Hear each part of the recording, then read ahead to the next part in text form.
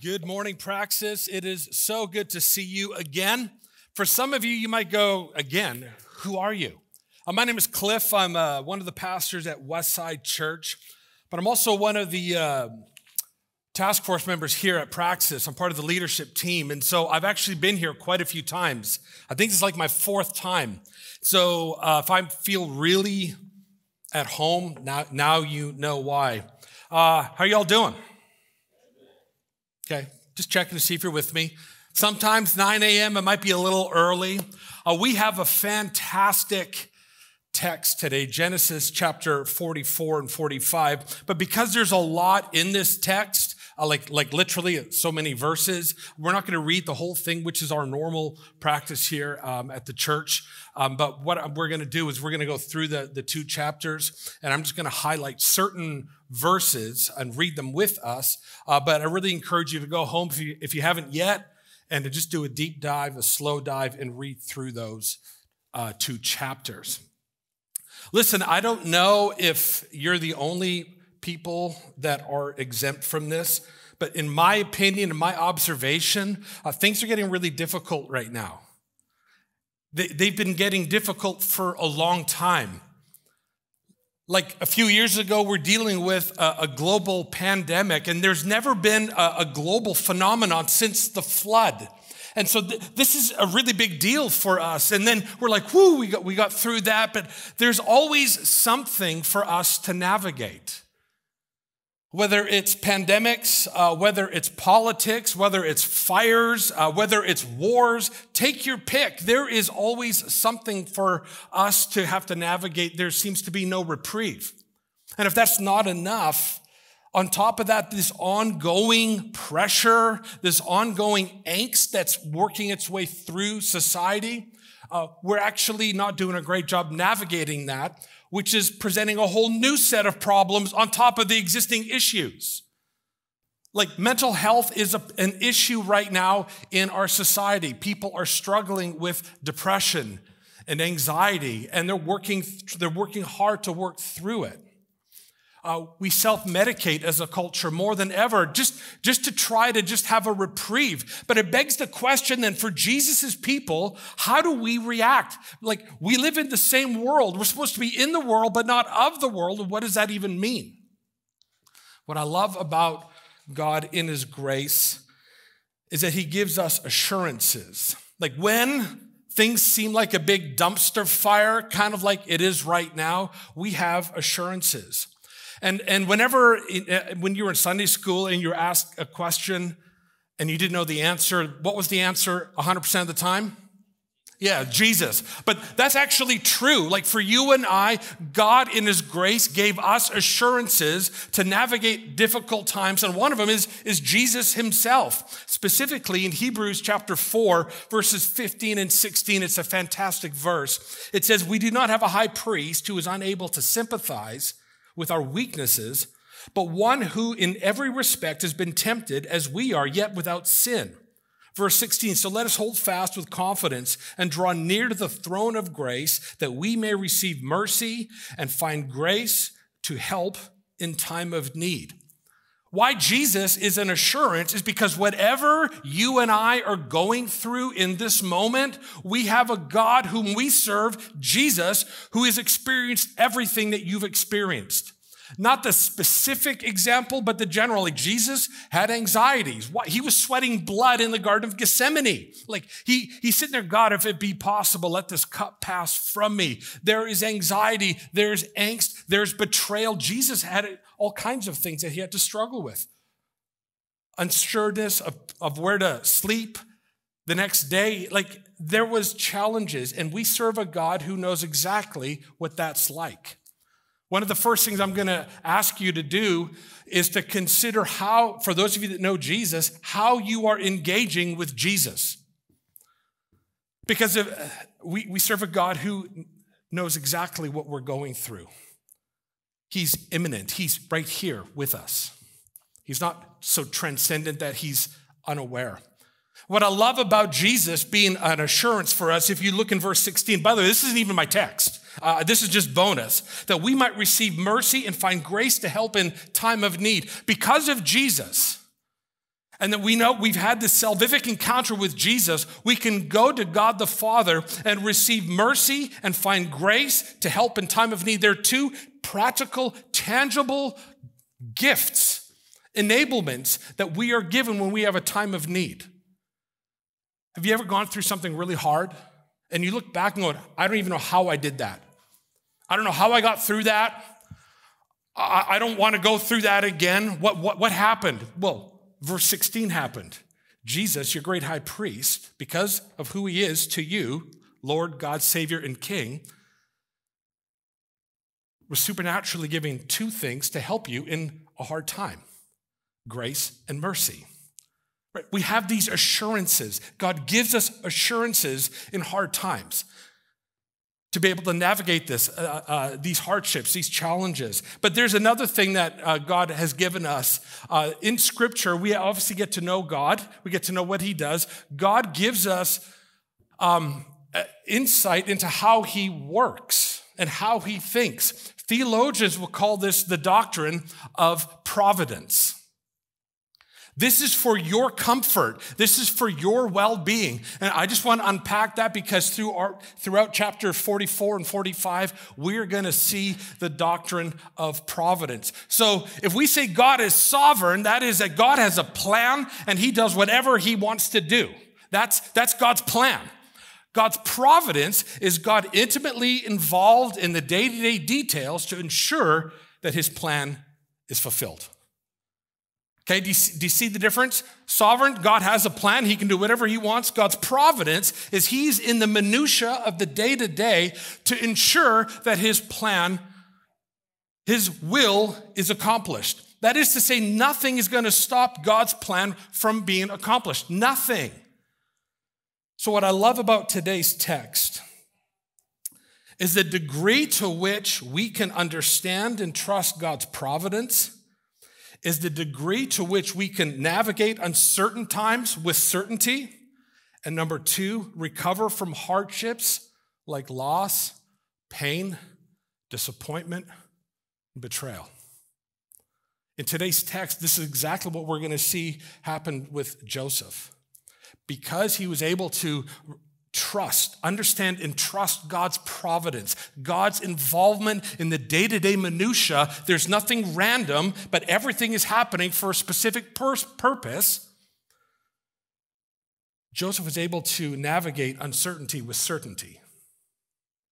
And number two, he was able to recover from hardships like loss, pain, disappointment, betrayal.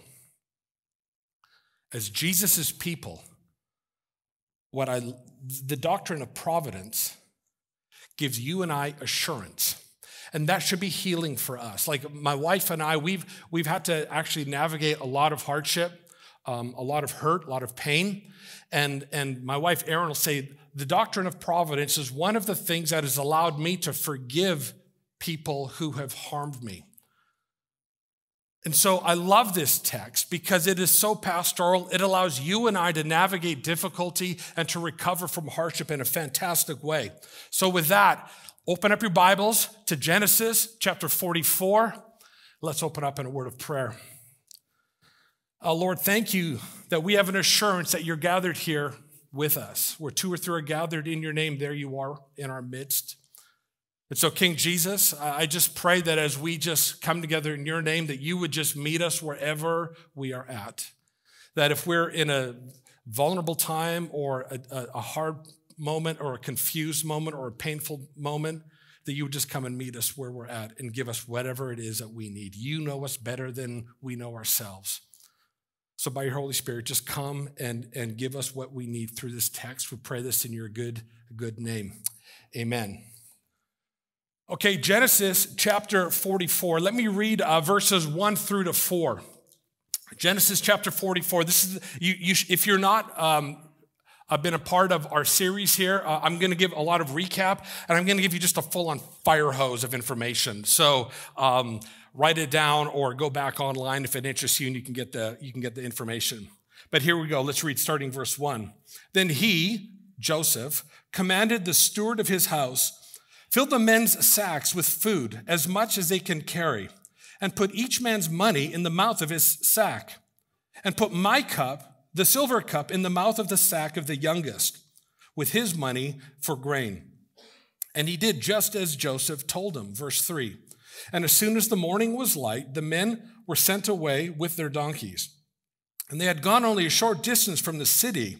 Now Joseph said to his steward, Up, follow after the men, and when you overtake them, say to them, Why have you repaid evil for good? So let's just stop there. What's Joseph doing? Like it, it, it's he's he's literally it's like he's framing his brothers. Why would he do that? Is he wanting to take revenge? Is he wanting to have some kind of mind games? What, what is Joseph doing? And I want to say that I believe Joseph is pretty skittish in this moment. Not skittish in that he's, in, uh, he's worried about his safety.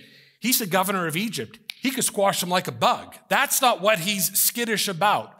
To understand what he's skittish about, let's, let's do a quick review. In Genesis chapter 37, a 17 year old Joseph, about 20 years uh, behind our text, 20, uh, 20 year old Joseph had, or 17 year old Joseph had a dream, actually had two dreams that he presented to his brothers, and they did not go well.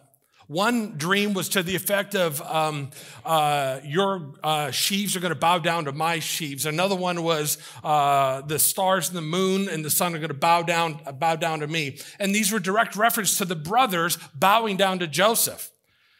The brothers didn't really like that. And it started a series of unfortunate events uh, for Joseph for the next, it's hard to know exactly, 18 years, 20 years. The brothers were so upset that they planned to kill Joseph, and they settled on just staging his death, but banishing him to a foreign country forever. So, of course, Joseph is going to be a little skittish. Why? Because as he's looking at his brothers, he's like, is this dream about to happen? Or are they just to do more shenanigans? And Joseph, is trying to discern what God is doing. Joseph is taking time in chapter 44 to discern God's providence. Here's what we know. Joseph isn't questioning if 17 year old, his 17 year old self, if those two dreams were of God. He's got that locked. I don't know if you remember, he's already had four supernatural encounters as far as God speaking to him through dreams. Twice, when he was in prison, he had uh, dreams uh, of the two inmates to come up, and Joseph correctly explained what those dreams were. A little while later, while still in prison, Joseph was supernaturally given uh, the dream that Pharaoh had and then correctly interpreted the dream. So Joseph isn't concerned about if his, the dreams that he had when he was 17 years old are going to come true. It's just when. How? Is this now? And can you just, just take a moment and to just consider, put yourself in Joseph's place in that moment, the risk that he's working through right now. Going, what, what is this this moment where this dream comes? How, how do you navigate? This is a risky, vulnerable moment between him and God. And Joseph is going to have to discern in this moment if he's going to take a risk. And, brothers and sisters, as you and I navigate through uh, the rhythms of our lives, we have to have confidence. We have to have some assurance that what we are doing is in step with the Lord. And what I love is that God gives us assurances. He gave us the scriptures. If, if we ever want to know what God has for us, Genesis to Revelation, the entire library of scripture is going to give us everything that we need, as Peter says, for life and godliness. And so we can have this confidence that we are in step but we need the discernment process. We need to take time. Like Joseph wasn't triggered. Like if, if it was today's uh, moment, he'd go, I'm being triggered by my abusers, because that's what his brothers were. No, he was stopping, prayerfully considering, and discerning what the Lord is doing. The simple takeaway is that when you and I are navigating uncertain times, we have to stop, not react, just stop and consider Lord, what are you doing? What are you saying? Another assurance that God gives us is his Holy Spirit. We see this in 1 Corinthians chapter 12. For Jesus' people, there are gifts of the Holy Spirit. Some of these gifts are discernment and wisdom and faith that you and I could have some confidence, not of ourselves, but from God Himself, that we have the ability to navigate, to understand what it is that God is saying, what it is that God is doing, and what it is that we are being called to do. And this is such a tense moment for Joseph because what is, what, what's he supposed to do? And after a time of discernment, chapter 45, starting in verse 4.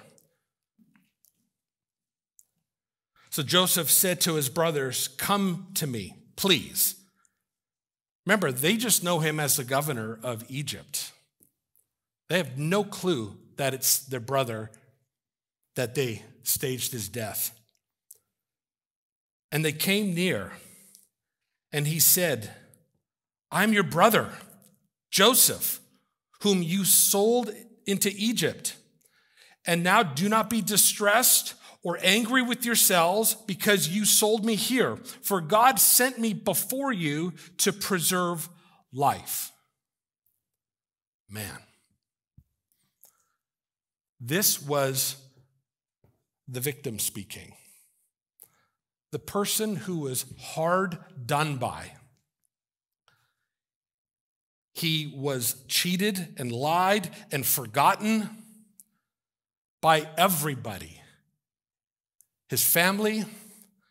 Potiphar turned his back on him. He was forgotten in prison. It could have felt like he was forgotten by God. What happened for Joseph to get to this point where he could say in verse 5, Don't be angry with yourselves because you sold me here, for God sent me before you. God sent me here before you to preserve life. How do you get there? How do you overcome the hurts and the pains and the hardship? How, how, do you, how do you not get angry at God for feeling forgotten, for all the wasted time, for, for everything that's been missed? What happened with Joseph that allowed him to get to this place where his relationship with God was intact, that he actually saw God was doing this and that he saw something good in, in and about this. This is unbelievable. I want to take the rest of our time to actually try to understand providence. Like, what, what, what happened? What are some things that would be helpful for us to know? And so let's take some time to understand providence. The first thing in understanding providence is that we have to recognize that there are two realms there's the spiritual and there's the physical. And you and I, in our first world context, we forget that. We forget that we're instructed to walk by faith and not by sight, to walk by the spiritual, not the physical. You and I have to sit there and be okay with the idea that we are not to get too focused on the physical. There's a fantastic uh, story in Scripture in 2 Kings chapter 6. And what you see is uh, you see uh, Elisha and you see just this young assistant. He's, he's not even named and there was a difficult situation. They were surrounded, they were in danger. And in the physical, that's all that you could see the hopelessness, the, the sure failure, The idea that they're going to be overcome by the enemy. In the physical, that's exactly what is happening. But Elisha does something fantastic. He prays this prayer that his assistant would be able to have his eyes opened. And if you go into that text, time doesn't let us, you see that his eyes are opened and there are chariots of fire all along the mountain ridge. They're not surrounded by their enemy, they're, they're surrounded by God Himself. Right, throughout Scripture, God uses fire as an example that His manifested presence is with them, right? Remember that with Egypt, uh, when, when the nation of Israel was coming out of Egypt, God said, I'm with you, a pillar of fire. Moses, the, the burning bush. And here in 2 Kings chapter 6, we saw the colliding of the two worlds, the physical and the spiritual. But do you notice that the two realms are juxtaposed from each other? This is, you and I have to be okay with this. Just because in the physical it looks really bad, it looks like the odds are stacked against us, it looks like it's a hopeless situation. That is not to say what's happening in the spiritual. That, that's not it at all. We have to be okay to, to, to see these two juxtaposing realms and go, everything's a mess. There's, there's uncertainty in the physical. It doesn't mean that everything is uncertain in the spiritual.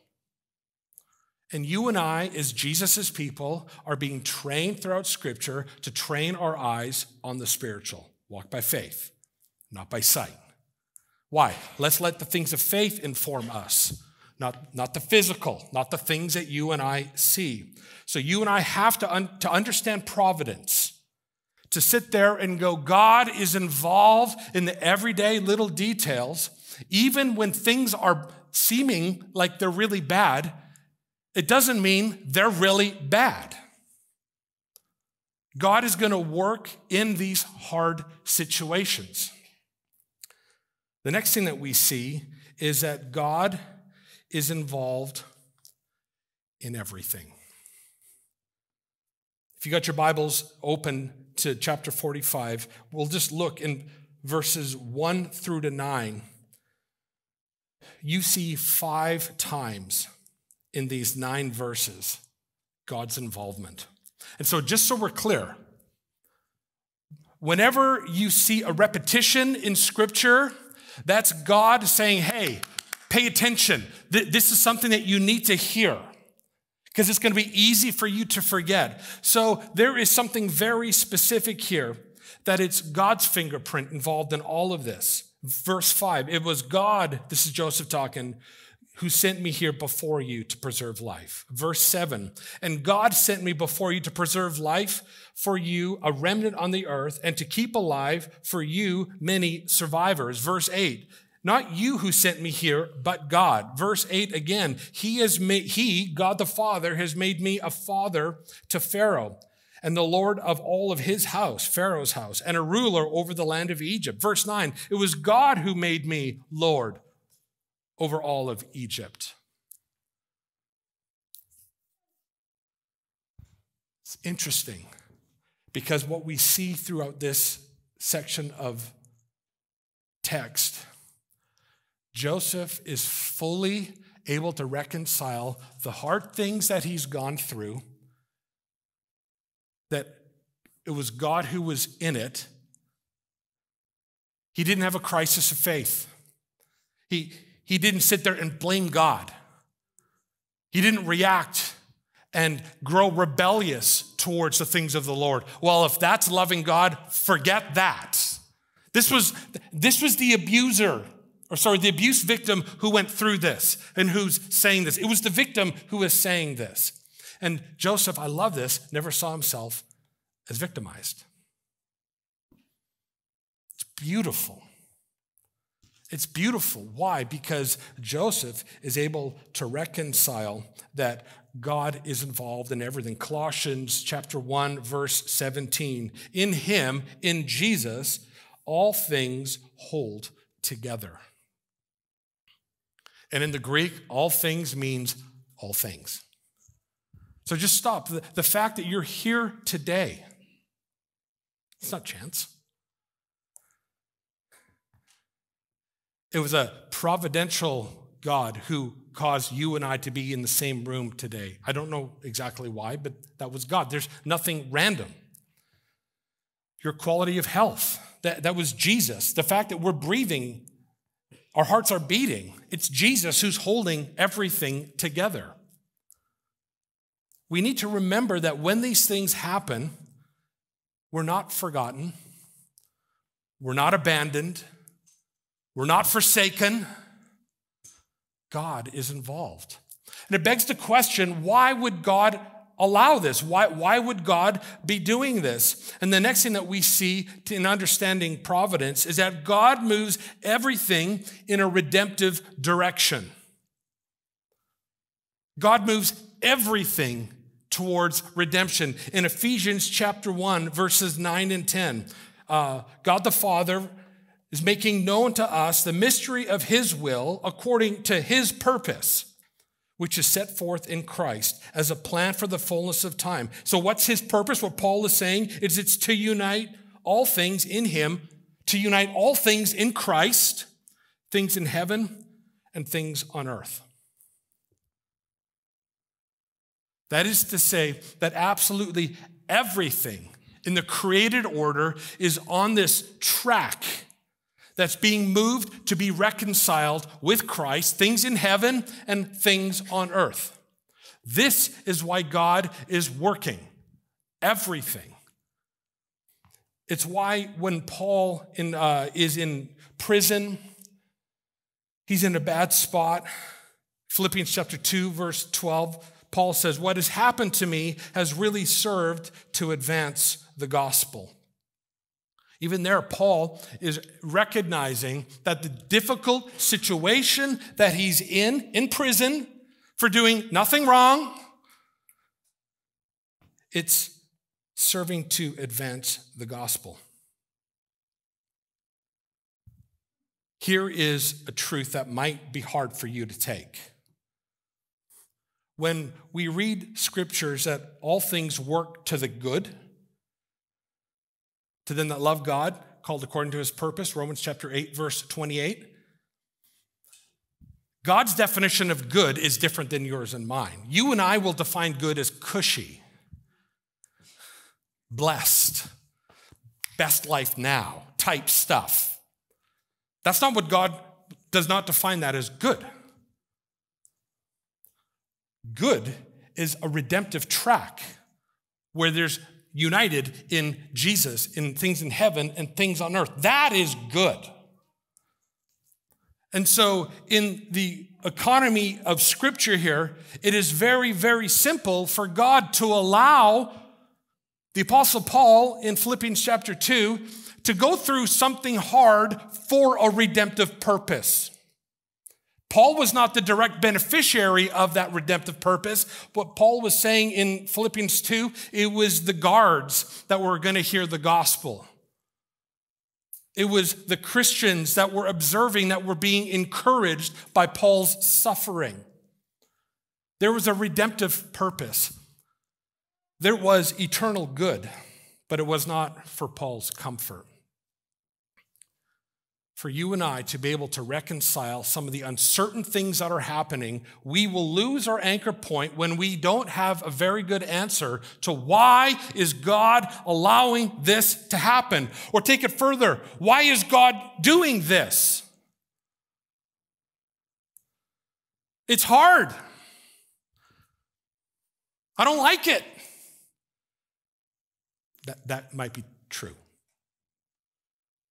But you and I need to know that the reason why God is allowing some of these hard things is because there's good that comes out of the hard. And God's definition of good is going to be different than yours and mine. So when Joseph is saying it was good that I was here, Joseph fully understood that the benefits to his hardship were not his own benefits, but the benefits of his people. He saw the purpose, he saw what God was doing. Jesus in John chapter 10, verse 10, Jesus says, uh, I have come that you might have life. And that life is not bios, it's not the heart beating, it's not the lungs breathing, it's the, the Greek word zoe. And a simple definition of Zoe life is it's a God authored quality of life that's given to us through Jesus, and its quality is not dependent on circumstances.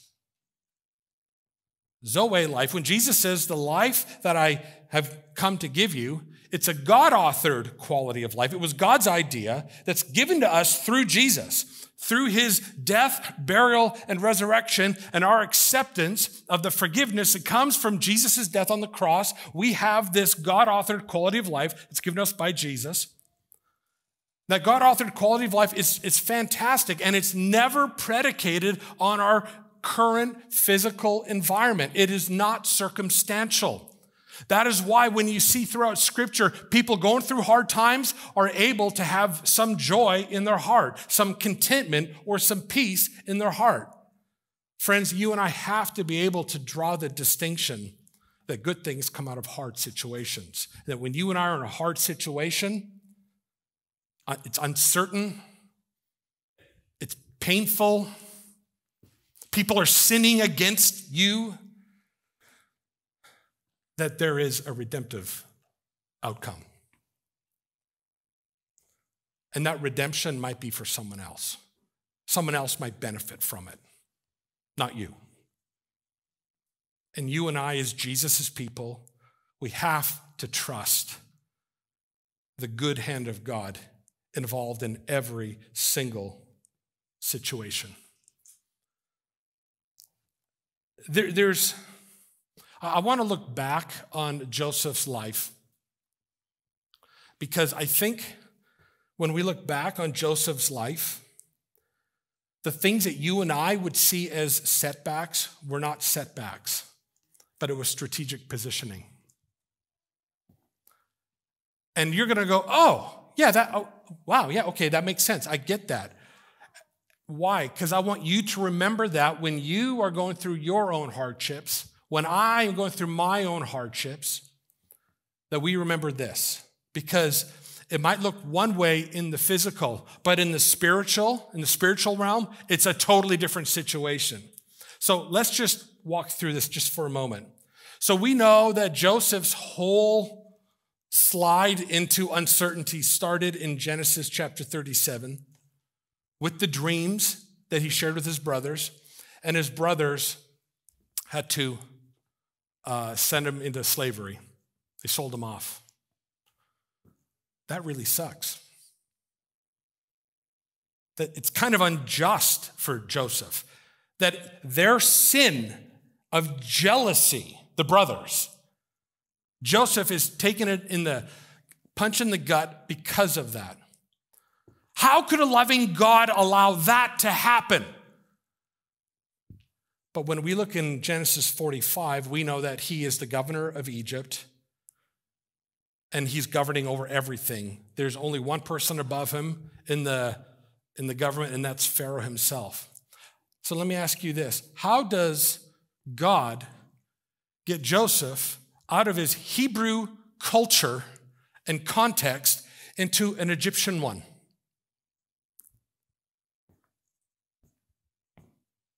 That's how. His brothers. Follow me. His brother's sin worked out for God's redemptive good. The betrayal of his family members, God used that for a redemptive good. So, how does God get a Hebrew boy positioned in a way where he could be the governor over Egypt, sell him into slavery. He transitioned. It wasn't chance and luck that his life was spared. It wasn't chance and luck that the caravan uh, was going by and he landed in Egypt. That was all God's providential care. Relocating him to Egypt at a young enough of an age where he's going to learn the language and he's going to learn the culture and the customs. let's keep going. Joseph needed to learn about governing. He needed to learn politics. He needed to learn all of this stuff. So you, you, it's logical why God, in his providential care, would place him in the Potiphar's house. He's already got the language, he's already got uh, the customs. He, he is functionally an Egyptian, though he was born a Hebrew. And so he's learning politics. He's learning how this works. He's learning who's who in government. That makes sense. We, can, we get that. But then why would Joseph, by being pure, when, when Potiphar's wife went to hit on him and he said no, he got thrown into prison. That seems like, again, an unjust God, allowing terrible things to happen, and, and we, we can't reconcile the two. And I'm going to argue it's simple. So Joseph learns the language, he learns the culture and the customs, and he's now understanding government. He now needs to learn management. The Bible tells us that Joseph was running the, the prison. Genesis chapter 39, verse 22. Everything that looked like a setback or a hardship or punishment wasn't. It was a loving God working on a redemptive plan to, re, to unite all things, things in heaven and things on earth, in Jesus. So Joseph is in prison, working hard for free, probably. He didn't get upset at God. This is the thanks I get. I've wasted so much time. My life is worthless. My life is meaningless. I'm rotting in this station of prison and I'm working. Forget that.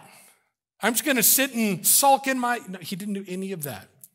I love that when his, the two inmates had a dream, Joseph was letting his, his giftings, his spiritual giftings, and his relationship with the Lord come out. In, in, he wasn't hiding it, and he interpreted the dreams. And the one inmate says, I'm going to remember you when I get out. Joseph's going, Sweet, I'm out. Wasn't supposed to be here in the first place. I'm going to be free. And he was forgotten again.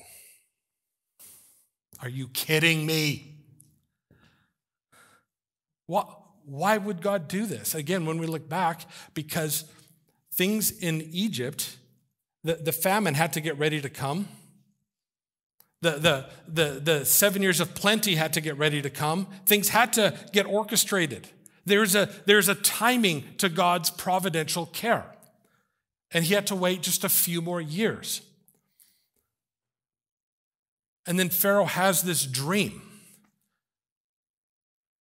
And he, he wants all of his, uh, his uh, spiritual guides and aides to say, Tell me the dream. And they're like, No problem, tell us the dream and we'll interpret. No, no, no, no, no. If you are who you say you are, you should get you should know the dream without me telling you. Well, it stumped everybody.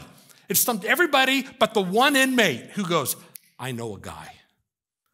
So now there is in, in, in Pharaoh, there is this desperation, there is this tension of like, I'm, I'm so stirred up, I don't know what to do. It was God who was stirring him up, of course. There's somebody who can do this, bring him to me. Joseph comes, said, Here's your dream, and here's what it means. And Pharaoh says, You're my guy. Puts a ring on his finger, and says, You're running everything. You realize that for us, when we look at that situation, we're like, I see, I see God's providential care in that. My point for taking so much time on this is because I want you, when you are going through questions and hardships, to go, God is as involved in the minutia of my life as he was with Joseph's. You are not forgotten. You're, you're, you're, you're not disposable. You're not wasting your time at all. This is to build us faith. And what is most interesting also for me in this is the relationship with his brothers seems to be coming together. Like, you realize because Joseph saw God's hand that there was opportunity for forgiveness of people who treated him unjustly. That's sometimes hard for you and I, but in when we look through situations through the lens of providence, we're like, okay, some of you in this room, I'm just playing the odds, I don't know details, have been really mistreated by people. And you're having a hard time forgiving them because of the unjustness that you have experienced. And you you call it a righteous anger because you feel morally in the in the in the right and you deserve the right to withhold any forgiveness for those people. And just so we're clear, I'm not saying that you need to resume a dysfunctional relationship with the people that have done terrible things to you. I'm not saying that.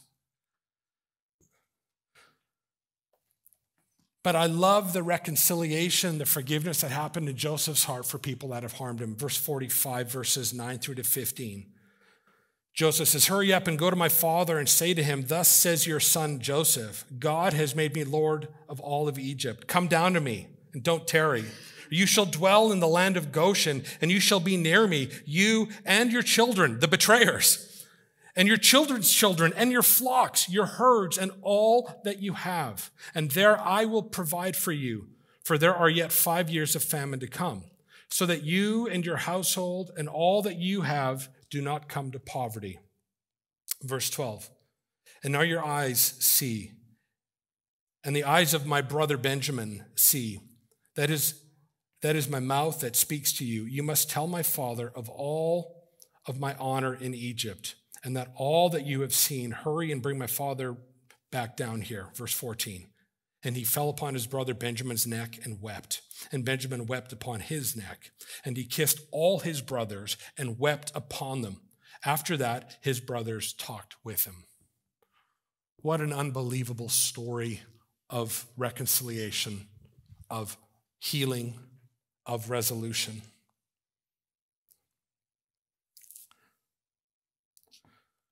Because Joseph embraced the doctrine of providence, It provided purpose in the hardship and it paved the way for repair. So I just want to ask you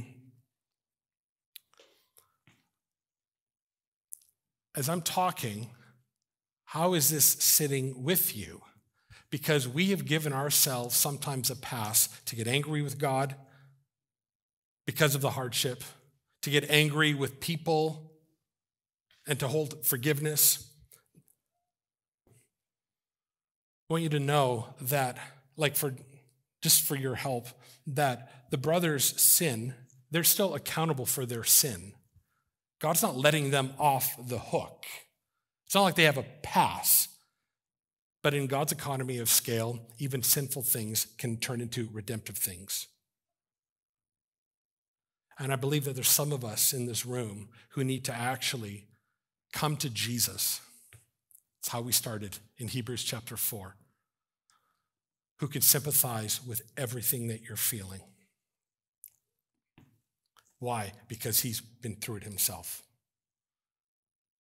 I wonder how many of us have told a lie that God has no idea what I'm going through. And I'm here to tell you, Scripture tells us He knows exactly what it is. And for some of us, we need to actually come to Jesus and say, I can't do this on my own, Jesus. I need grace I need mercy in this time of need. And there's a promise that Jesus will give that to you. For some of us, it's to actually be forgiving people. We're about to move into communion. I'm actually going to ask the band to make their way up. We're not even supposed to take communion if there's unforgiveness in our hearts. Like we're stopped. Some of us are going, Why am I stuck spiritually? I'm in this plateau. I'll tell you why. There's hard hearts. and there's bitterness. And what I love about this text, what I love about Genesis chapter 44 and 45, but in this entire narrative, is that a holy God can work all things to the good for those who love God and are called according to his purpose. But there's a caveat in that Romans 8:28 text. It's for those who are in Jesus. That promise is only for Jesus' people. Maybe there's some of you here who you're a skeptic and you're visiting and you're not sure what to do. I want to invite you to have a relationship with Jesus. And by that, you recognize that there's sin in your life and you are not able to break out of and find the freedom that you're looking for. I want you to know that Jesus came to this earth and lived a sinless life and died on the cross in your place for your sins. And you're going to experience redemption you're going to experience healing spiritually, also emotionally, even physically. Because this is what Jesus does. Lord, I just pray that wherever we're at in our spiritual journey, if there's some of us who were in this plateau and we've been angry and bitter with God and with others, and we've been pointing the finger everywhere else. Lord, I just pray about your Holy Spirit that you would show us the areas in our lives where that bitterness is taken root, where that hard heart is taken root. That we might just take this moment and confess to you, King Jesus. That is just a really poor response to hurt and to brokenness. The appropriate response is to bring it to you so we can find help in time of need. For those of us that are so far from you, we don't know you as Lord and Savior, I just pray that, that there would be something in our hearts right now to just cause us to move into the, into the direction of you, Jesus. That we recognize you as Lord, God, Savior, and King. that we would confess our sin to you even right now that we'd fully receive righteousness. Praise in Jesus' name. Amen. Amen. I'm going to ask the communion servers to make the way up. We're just going to move into a time of communion. And if you know Jesus as your Lord and your Savior, I want to invite you to come up and take communion. It's a phenomenal reminder of what Jesus, our great high priest, has done puts the cross at the focal point of our lives, not our circumstances, not our situation. But before we do, I just want us to just take a moment and to do a spiritual check on where we're at. If there's sin in your life, ask God to forgive it.